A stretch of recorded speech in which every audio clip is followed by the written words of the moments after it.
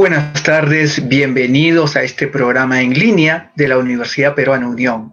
Hoy la Facultad de Ciencias Empresariales desarrollando e iniciando un bloque, Finanzas en tiempo de crisis.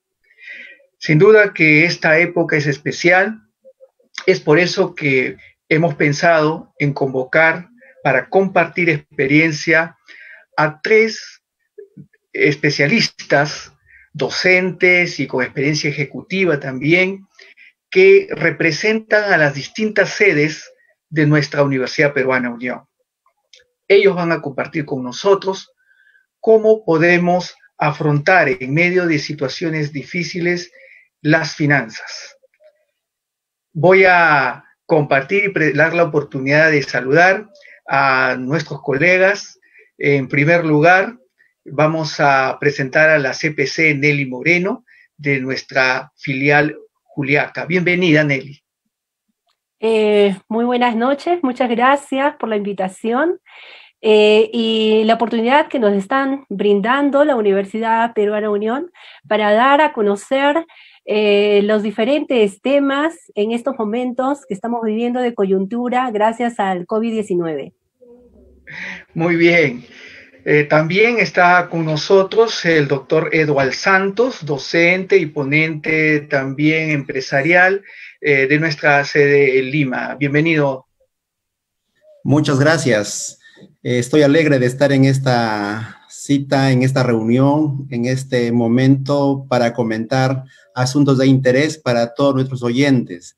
Y muchas gracias también por la invitación. Aquí estamos para atender los requerimientos requeridos. Muy bien. Y de la cálida ciudad de Tarapoto, el magíster Mario Siles, coordinador de la facultad en, esta, en este lugar del Perú, en nuestra sede filial.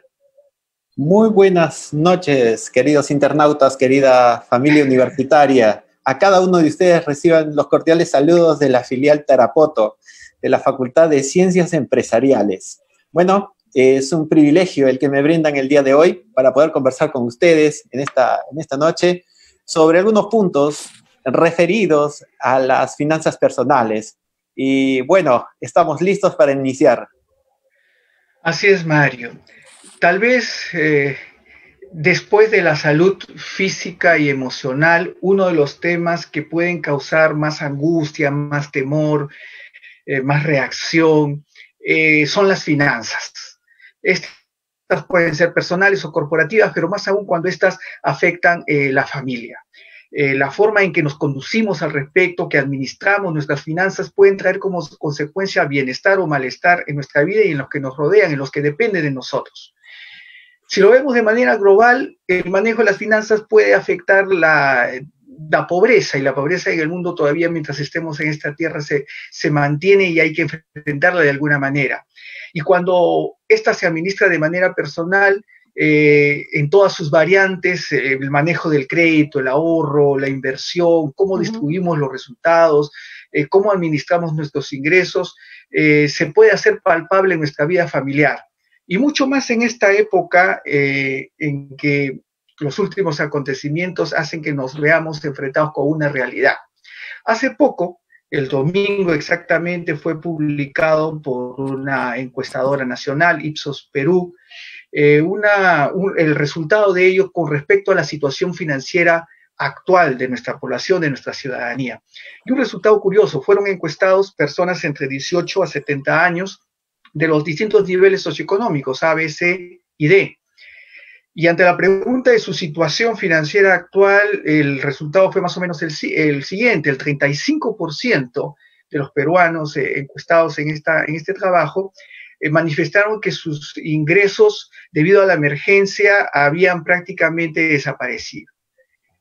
Eh, por otro lado, el 31% manifestó que sus ingresos significativamente se habían reducido el 26% manifestó que se habían reducido sus ingresos, pero de una manera ligera. Finalmente, solo el 8% manifestó que sus ingresos se mantuvieron como habitualmente eran.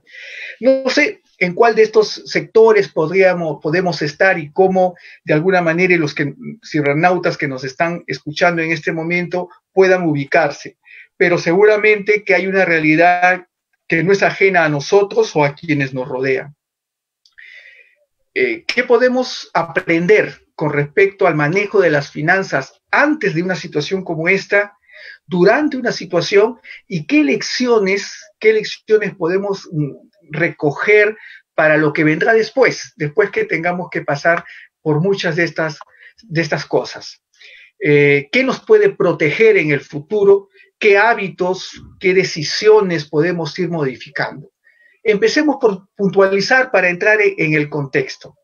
Eh, a partir de este momento les digo a mis colegas, para hacerlo más fluido y familiar, desde este momento somos Edward, Mario, Nelly y Ricardo.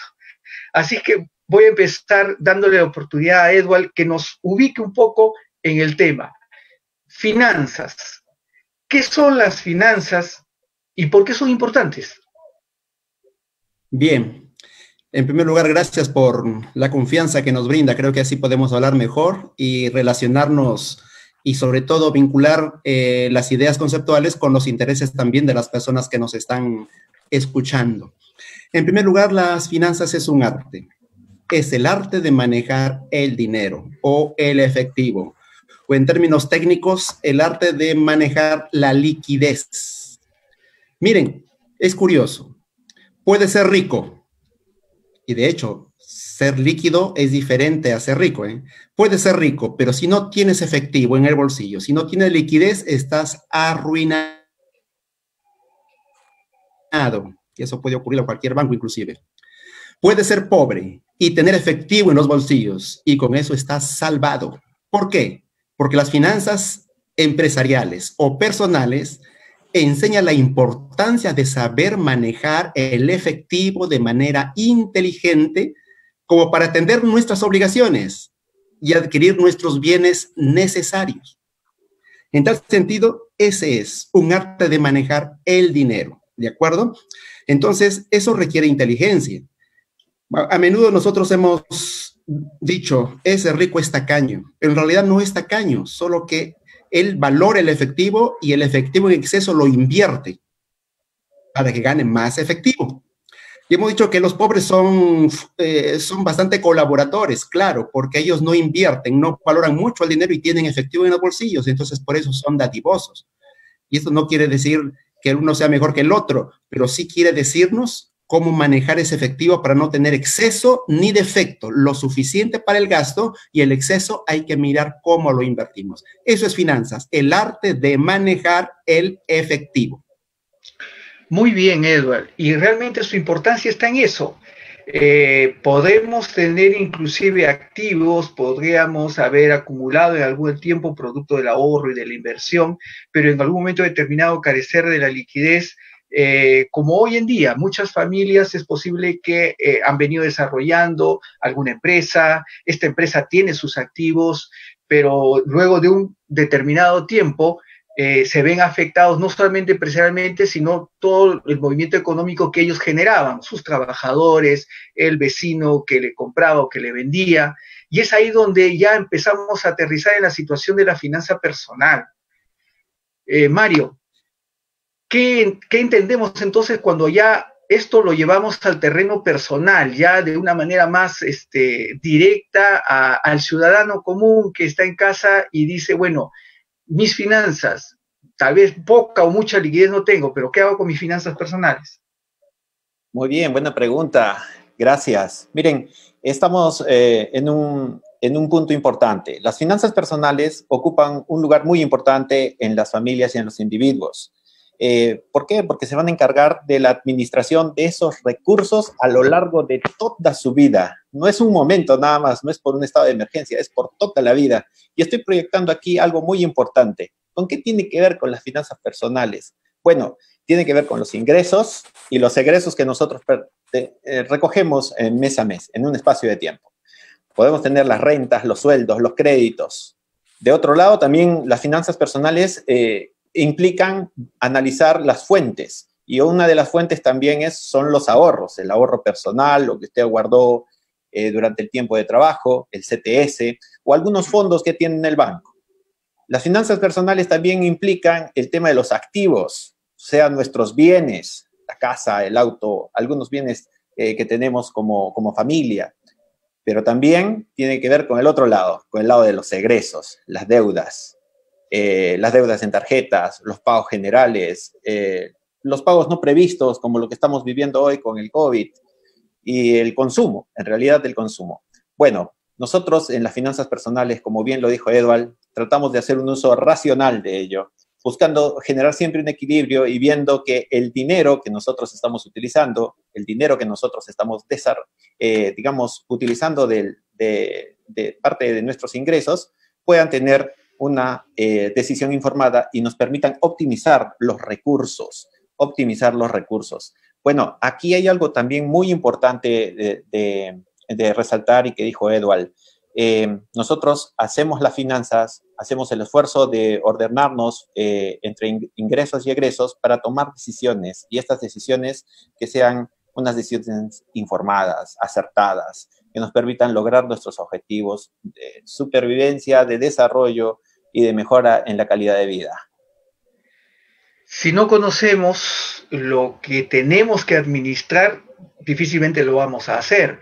Si no sabemos eh, eh, sobre qué va a basar nuestras finanzas personales, difícilmente lo vamos a manejar bien. Bien mencionabas, Mario, el tema del activo, el tema de los ingresos, eh, pero también está de la otra parte los egresos, los gastos. Y, en estos días seguramente se agravan cuando la diferencia entre ingreso y egreso es notoria. ¿Cómo afrontar las finanzas personales en tiempo de, crisis eh, de manera básica? Nelly, ayúdanos con eso.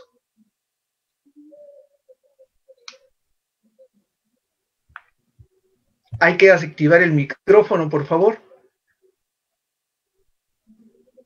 Es, muy importante poder tener siempre en cuenta las finanzas... En esta oportunidad voy a hablar de cuatro aspectos importantes que como ser humano, que como peruanos, eh, podemos nosotros eh, considerar para poder afrontar las finanzas personales en este tiempo de crisis. El primero, y creo que yo es el más importante,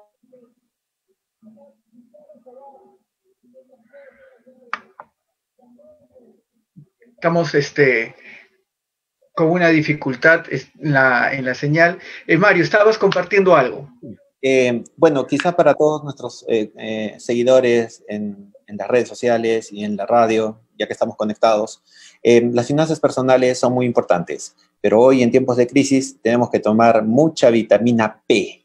Mi papá decía algo muy importante, vitamina P. ¿Cuál es la vitamina P? Presupuesto. No podemos andar si no tenemos presupuesto. Y hoy muchas de las familias hemos hecho estirado el presupuesto estamos... Hemos estirado el presupuesto a la fecha, estamos viendo los ingresos y los egresos y por ende también estamos ordenándonos. En tiempos de crisis es muy importante. Nelly, nos estabas comentando algo más. Sí, Nelly, te escuchamos. Adelante. Ok, lo que yo les estaba diciendo es que hay cuatro aspectos importantes que como seres humanos, como peruanos, podemos eh, considerar y ver la manera de cómo afrontar eh, las finanzas personales en tiempo de crisis. Y la primera es buscar a Dios en primer lugar, todas las mañanas. Si vemos en nuestros diferentes grupos de WhatsApp, la mayoría de nuestros amigos, de nuestros colegas, amigos de infancia, de niñez, amigos que hemos estado en el colegio y que de repente nos estamos encontrando a través de las redes sociales, de una u otra manera todos están colocando mensajes alusivos a la búsqueda personal de Dios, ¿verdad? De manera personal. El otro aspecto que también deberíamos de considerar es que deberíamos de revisar el patrimonio. El patrimonio que tenemos a corto, a mediano y a largo plazo. ¿Cuánto voy a recibir a fines de abril, a mayo, a junio? Y en base a eso nosotros tenemos que desarrollar nuestras eh, finanzas personales, ¿no? desarrollar cómo afrontar estas finanzas personales. El otro aspecto que también deberíamos de considerar, y es muy importante, es que al momento de hacer nuestro presupuesto, no lo hagamos de manera este, personal, ¿no? O el, jefe de la familia, a veces eh, es el varón. Nosotros deberíamos de considerar, de desarrollar, realizar nuestro presupuesto personal considerando a todos los elementos que conforman una familia, para que también nuestros hijos, así sean pequeños, ellos también puedan participar de cómo se puede distribuir el dinero, los ingresos que nosotros tenemos. Y como último, nosotros debemos de aprender a organizarnos, a planificar, a planificar, planificar para el día de mañana y para y planificar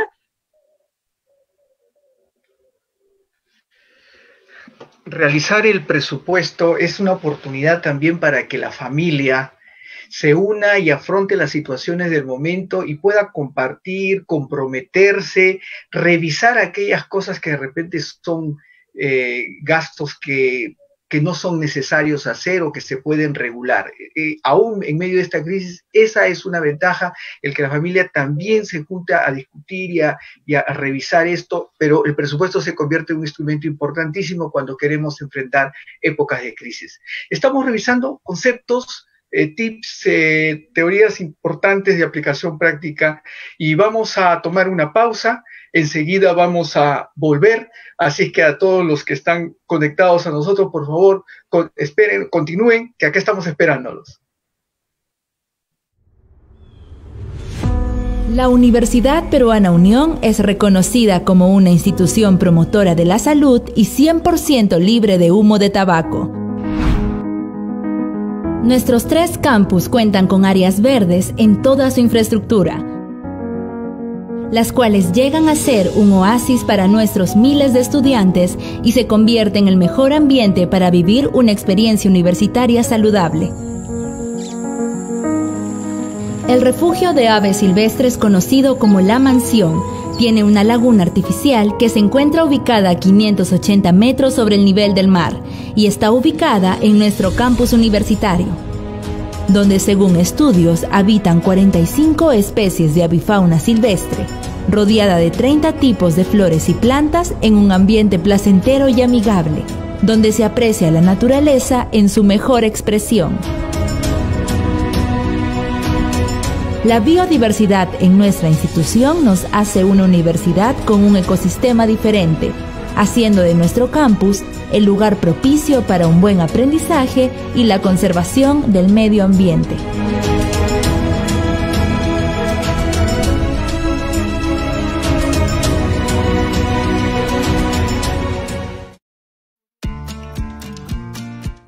se ha paralizado, pero tu educación no puede parar. Realiza tu matrícula virtual desde tu casa y si tienes alguna dificultad o necesidad, nosotros estamos para ayudarte. Ingresa a www.upu.edu.pe slash directorio. Luego, contáctate con los responsables de tu facultad. Y juntos encontraremos el camino para seguir construyendo tu futuro porque tu educación no puede parar.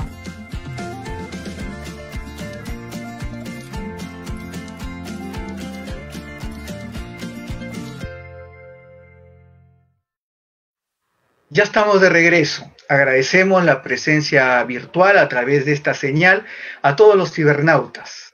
No olviden escribir sus opiniones, consultas o ideas para los próximos programas de este bloque de la Facultad de Ciencias Empresariales, Finanzas en tiempo de crisis. Con el tiempo hemos creado hábitos, costumbres en el manejo de nuestras finanzas, de cómo eh, generamos nuestros ingresos, cómo distribuimos nuestros gastos. Algunos van a ayudarnos, pero otros pueden estar causando daños a, nosotros y a nuestra familia. Eh, vamos a revisar con nuestros invitados esos, esas situaciones más comunes que suelen ocurrir y que nos pueden afectar en el buen desarrollo del manejo de las finanzas. Eh, las compras, por ejemplo, ¿cómo nos, ¿cómo nos relacionamos con las compras? Edward, ¿qué nos puedes compartir al respecto? Miren, aquí también hay que ser sumamente inteligentes. Ya dijimos que finanzas es cómo manejamos el dinero y las compras son las que consumen nuestro, nuestro dinero. Entonces, si las compras consumen nuestro dinero y yo tengo que gastar o, sacar o mis egresos en efectivo sea lo mínimo posible y permisible, no quiero decir que dejemos de, gozar con algunos disfrutes inocentes y propios, pero sí hay siempre hay, siempre hay gastos eh, innecesarios, como acabas de decir, hay veces se tornan indebidos ahora en tiempo de crisis por el COVID se, tornan indebidos porque hoy día estamos viviendo una situación muy difícil. Ni el que es trabajador de a pie puede decir que está mejor el empleado, porque ahora las empresas están restringiendo muchos beneficios. Y si es, por otro lado, también están despidiendo gente y van a despedir más gente con la última mm, norma que están por sacar mm, aquí en el Perú. Entonces, en ese aspecto, tenemos que controlar bien el dinero con respecto a las compras. No caigamos en el pánico, tratemos de que nuestro imaginario no sea afectado por el imaginario colectivo de extrema necesidad o por temor a las carencias en el mercado. El caso costarricense nos dice algo interesante. Apenas empezaba la cuarentena, la gente desalmacenó los automercados. Y aquí ocurrió lo mismo, solo que de allá fue chistoso consumieron todo el papel higiénico y después que se calmaron quisieron devolver el papel higiénico y los automercados no, no les concedieron esa gracia. Esas cosas pueden arrebatarnos efectivo necesario y dejamos de atender necesidades urgentes que quién sabe no se aparecen hoy, pero se pueden aparecer mañana. De allí hay que ser prevenidos. Por eso cuando Mario dice del presupuesto y cuando la colega Nelly también hablaba del presupuesto, es necesario no solo hacer un buen presupuesto, sino también ser disciplinado con ese presupuesto para que eh, nuestra política de compras se circunscriba a lo necesario, a lo necesariamente útil. Es así, y en lo que se refiere a las compras, un engaño muy común, el cual nos puede estar afectando, es el hecho de suponer que hay cosas que todavía estamos necesitando la ansiedad, la, angustia propia de momentos críticos como este, pueden despertarnos el, sentimiento de que hay cosas con las cuales nos queremos proteger supuestamente. Así como también la sensación de que todo lo que ahora podamos consumir, consumir más adelante lo vamos a poder solventar. Y es ahí donde aparece ese, ese objeto muy conocido, pequeño, que se lleva en una, una billetera o una cartera, que aparentemente no causa ningún daño, más bien ayuda, pero mucho dependerá de cómo lo utilizamos se me refiero a la tarjeta de crédito. Mario, ¿cómo, cómo relacionarnos con este instrumento que está en el mercado, que es útil también para las familias, pero cómo nos relacionamos con ello en, cuestiones de lo que origina muchas veces el sobreendeudamiento, ¿no? Muy bien, muy bien. Es muy importante. Bueno, yo quisiera decirles algo aquí. Hoy en día el acceso al, crédito es, prácticamente para todos, para todos. Antes teníamos problemas con el acceso al crédito, pero hoy el crédito llega a nosotros con una llamada, con una señorita que está en el súper, nos está ahí vinculando. Y es verdad, este pequeño plástico que nos acompaña hoy también en un momento es una solución, pero también se puede convertir en un problema si nosotros no tenemos algunas indicaciones básicas de su uso, básicas. Recuerde que el dinero de la tarjeta de crédito no es de usted, es del banco. Primer punto, evite retirar dinero. Es, el, el, el préstamo más caro, más caro del segmento, más caro. Segunda recomendación, hoy estamos encerrados, estamos protegidos, estamos en casa, estamos con nuestra familia. Cuide, cuide cuando utilice las, eh, las transacciones. Hay que utilizar conexiones seguras, seguras para, nuestros, para nuestras transacciones financieras. Tercer punto básico, estimados internautas que hoy se conectan a la señal de la Universidad Perón Unión. Tercer punto importante, monitorea lo que estás gastando. Monitorea lo que estás gastando. Bien dijo Edward, eh, el pánico a veces nos lleva a pasar la tarjetita y no duele en el momento, pero luego se puede convertir en una deuda impagable, una deuda muy cara, y sobre todo cuando empezamos a fraccionar por más de tres cuotas en adelante, se convierte en una situación muy complicada. El cuarto punto que quisiera compartir con ustedes, y lo estoy proyectando para los que están siguiéndonos en redes, es trabajar la vitamina P el presupuesto, nuestros ingresos y nuestros gastos. Un tope lógico en el consumo de la tarjeta de crédito hasta el 30% de tus ingresos, estimado internauta. Y también de los ingresos futuros. Hay que ver mucho el futuro, qué nos depara. No podemos endeudarnos hoy, no podemos comprometer la comida de mañana, tenemos que verlo hoy y hay que hacer un poquito de catarsis aquí, ver lo que es verdaderamente necesario para el presente y, y cómo estamos comprometiendo también con el futuro. Pague a tiempo, es otro punto importante, evite las moras. Sé que hoy el Estado nos está permitiendo trasladar el, dinero eh, y los pagos de los mismos, pero tenemos que tener en cuenta también que estos, este, cronograma de refinanciamiento también viene ajustado a nuestros ingresos, entonces hay que tener en cuenta ello. Y una recomendación final, una recomendación final para todos, solo use ese plástico si verdaderamente lo necesita. Si verdaderamente lo necesita. Financiarnos con el plástico no es una muy buena opción debemos de recurrir más bien a reducir nuestras deudas y tratar de ver qué métodos de refinanciamiento tenemos en el futuro para poder empezar a ajustar también el presente. Y de esta manera, yo sé que todos hoy estamos viviendo lo mismo y nos estamos ajustando. Estamos viendo el futuro con esperanza, sí, porque creemos en Dios, creemos eh, que esto nos está ayudando a madurar, pero también tenemos que ser muy maduros con los, con los gastos y los compromisos futuros que nos permitan desarrollar una vida completa y obviamente feliz. Adelante, Ricardo. Tal vez si proyectamos el flujo de nuestros ingresos y egresos dentro del tiempo como producto también del presupuesto, un flujo adecuado mes a mes, eh, nos vería, y sincerando las cifras que vamos a tener que afrontar, que son los intereses que acompañan esta, este instrumento que es la tarjeta de crédito, probablemente nos sintamos desalentados a utilizarla.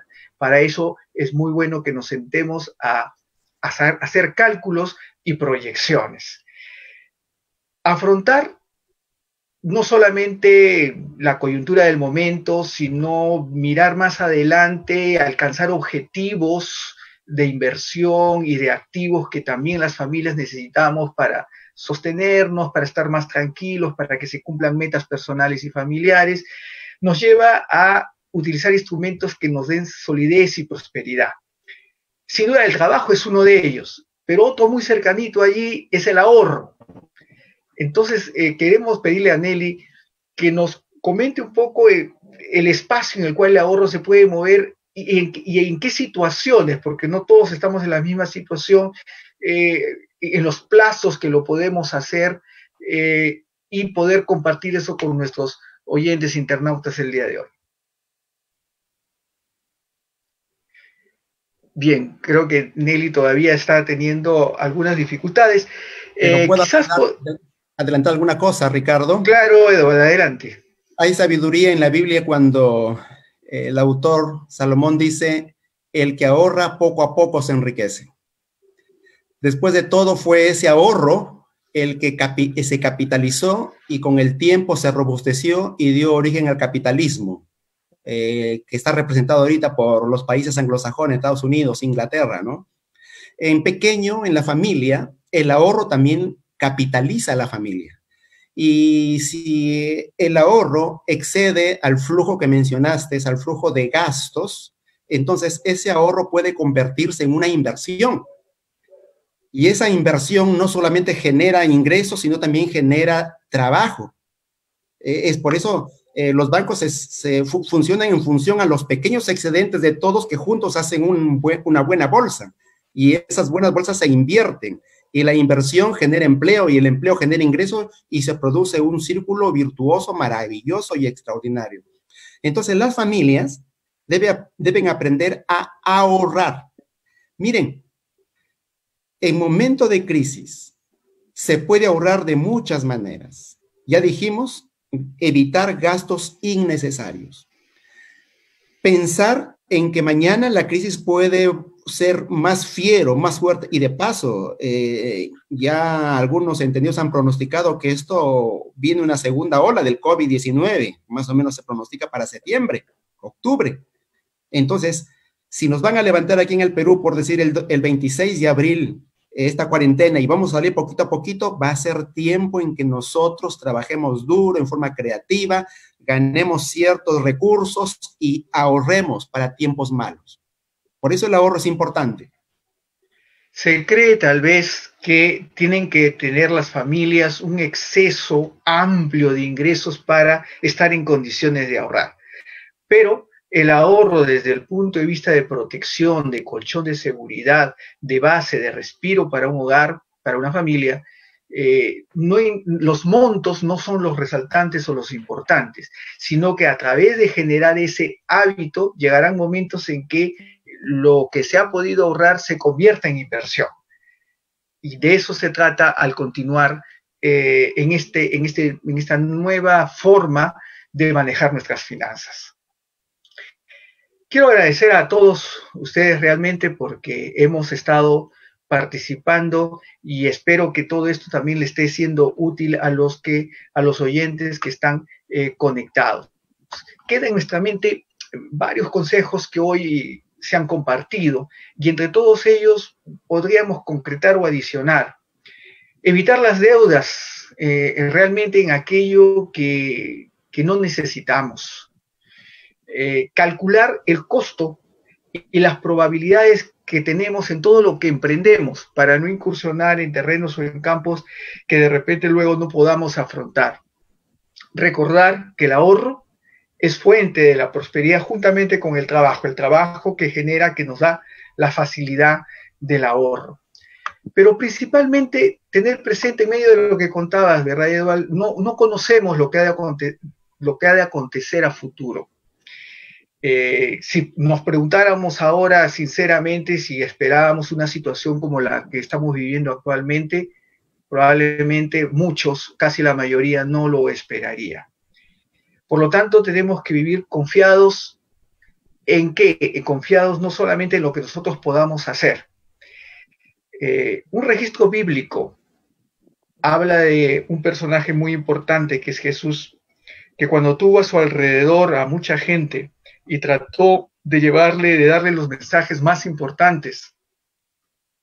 También consciente de que el ser humano mientras esté en esa tierra ha de vivir momentos y problemas difíciles, eh, compartió con, él, con ellos algunas palabras que hoy voy a parafrasear un poco juntos. Esto está en el libro de Mateo capítulo 6, verso 31 al 34. No os afanéis no hay que angustiarse, no hay que llenarnos de ansiedad, diciendo qué comeremos, qué beberemos, qué vestiremos. O sea, ¿de dónde estará la liquidez para poder afrontar? Porque todos buscan estas cosas. Pero Dios, nuestro Padre, sabe que tenemos necesidad de todo ello. Y el mensaje y el tip es, más buscar primero el reino de Dios y su verdad. El reino de Dios lo podemos encontrar en nuestra familia. Hoy, eh, una de las cosas que más se destaca es el hecho que en medio de esta coyuntura, de un momento a otro, se ha interrumpido el tiempo de repente que hemos utilizado hasta para gastar. Y las familias empiezan a unirse más, a compartir más tiempo juntos, a resaltar lo que realmente tiene valor, lo que es importante pero vuestro Padre Celestial sabe que tiene necesidad, el reino de Dios y su verdad. Y todo lo demás, dice el texto, será añadido. Así que no aumentemos más angustia al día de hoy, porque lo que ha de acontecer no lo sabemos. Cada día va a traer su propio ritmo, su propia angustia, su propio estrés. En realidad, eh, quisiera darles un tiempo a cada uno de, los colegas, Mario, Edward, para que puedan dejar un, consejo final a cada uno de nuestros colegas ya, y, cibernautas, estudiantes, comunidad en general que nos acompaña para eh, en proyección a lo que ha de venir. Gracias.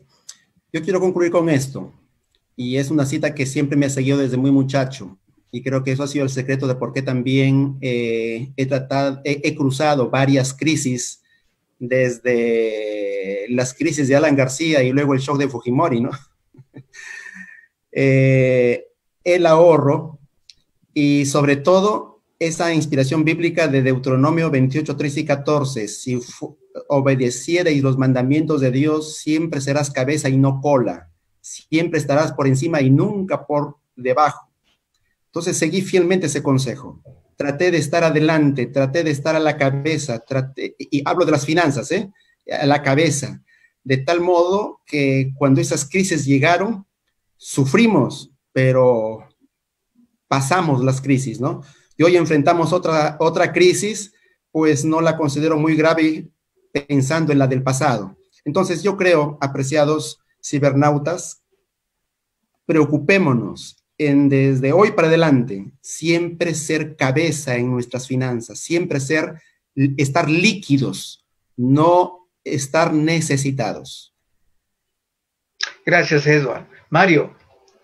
Bueno, yo solo quiero agregar lo que hoy leímos en, el, en, la, en la lectura del Revivados por su palabra, todos. El Señor nuestro Dios es bendito y es el único que hace maravillas. Nuestra, nuestra confianza debe estar cifrada en Él. Él librará al menesteroso y recompensará y dará lo justo a la gente. Saben, hoy día es un momento también para ponernos muy, muy, muy a ocuparnos en el, en el accionar diario, muy a ocuparnos en las cosas que estamos haciendo, en ahorrar la luz, en ahorrar las salidas que estamos haciendo al, al exterior de nuestros hogares, a racionalizar también el consumo que estamos teniendo. Y eso nos va a animar para poder lograr este objetivo de pasar esta crisis. Juntos lo vamos a hacer. Y las finanzas también están en ello. Nos están ayudando todos. Este, nuestros hijos y el más pequeñito de la clase hasta nuestros mayores, quizás nuestros papás que están con nosotros. Estamos enfocados en este momento en hacer de nuestra parte y en racionalizar, tomar decisiones racionales. Dios nos bendiga a todos. Y muchas gracias, Ricardo y Eduardo, por la oportunidad que me han dado de expresar estas palabras a toda nuestra comunidad en Internet y por la radio que también nos escuchan. Gracias, Mario. Nelly, te podemos escuchar. Bien. Sí, para, para finalizar, mira, hay aspectos muy importantes que, que los voy a dar como unos tips. El primero, lo que tenemos que hacer es tratar de no gastar el dinero que se nos viene de forma adicional. El Estado está dando algunas normas día a día y estamos siendo beneficiados de repente de poder retirar de la AFP hasta 2.400 soles o 2.000 soles en eh, que nos van a dar en abril, de repente en mayo. Eh, ese dinero deberíamos de considerarlo como un ahorro. Tratemos de no gastar, tratemos de hacer bien nuestro presupuesto familiar tenemos que reservar parte de nuestro presupuesto para emergencias. Es muy importante eso. Lo que tenemos que también hacer es, si tenemos un seguro que hemos contratado antes de la emergencia, deberíamos de hacer un esfuerzo enorme para seguir pagando ese seguro. De repente tenemos un seguro de vida, un seguro vehicular, estamos eh, con, otro, con otros tipos de seguros, hasta los seguros oncológicos, ¿no? Tenemos que continuar pagando este tipo de seguros que ya eh, antes de este estado de emergencia eh, por el COVID-19, pues hemos contraído anteriormente. Y por último, tenemos que mantener los recursos suficientes para poder vivir bien en la etapa que dejamos de trabajar. Eso es muy importante que también nosotros consideremos para poder este, afrontar nuestro presupuesto, nuestras finanzas a posteriori. Un agradecimiento especial para cada uno de los colegas que han participado y también a todos los internautas que han estado conectados a nombre de la Facultad de Ciencias Empresariales, de la Universidad Peruana Unión y continuaremos con esta, con esta etapa que venimos desarrollando, finanzas en tiempo de crisis. Que Dios los bendiga y hasta una próxima oportunidad. Un abrazo.